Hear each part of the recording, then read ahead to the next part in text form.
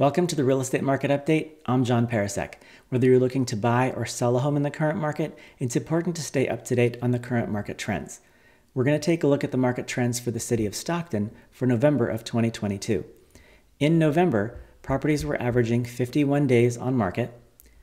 The available properties, 50% of those have had price reductions. So one out of every two for sale signs that you drive by has had its price reduced.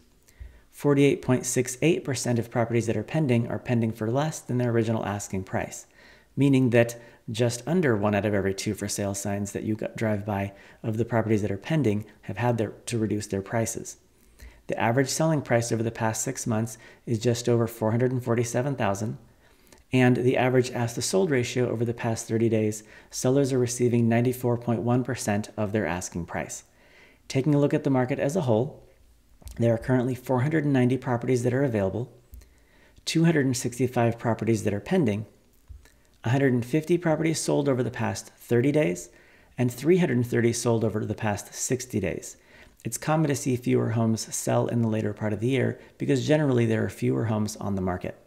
Now, how can this apply to your situation? Let's take a look at the market summary as a whole. Considering that average home sale price of just under 450,000, if you placed your property for sale in this price range, you'd want to know how much competition that you have.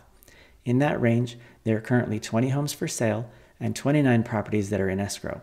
So 60%, just under 60% of this price range has gotten into contract.